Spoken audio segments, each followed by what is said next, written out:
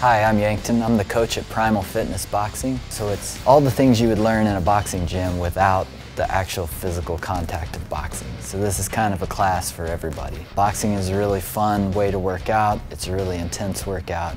It'll get you in great shape. Combining the fitness along with the technique has been um, a great experience for me and got me back into shape.